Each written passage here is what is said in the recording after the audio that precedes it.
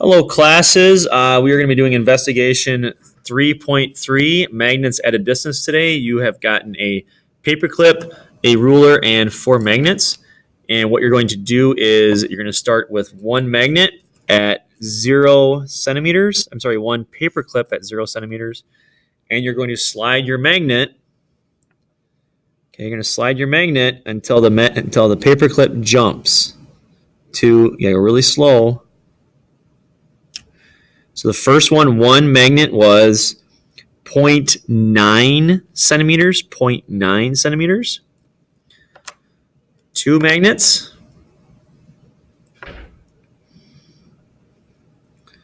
Is two magnets.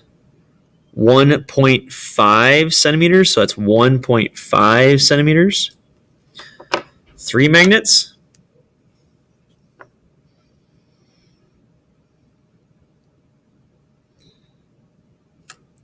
Two point zero, two point zero for three magnets.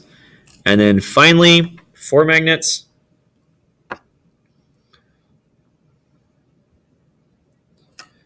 Two point seven, two point seven centimeters. If you have any questions about this, Cardinals, you can always talk to your teacher.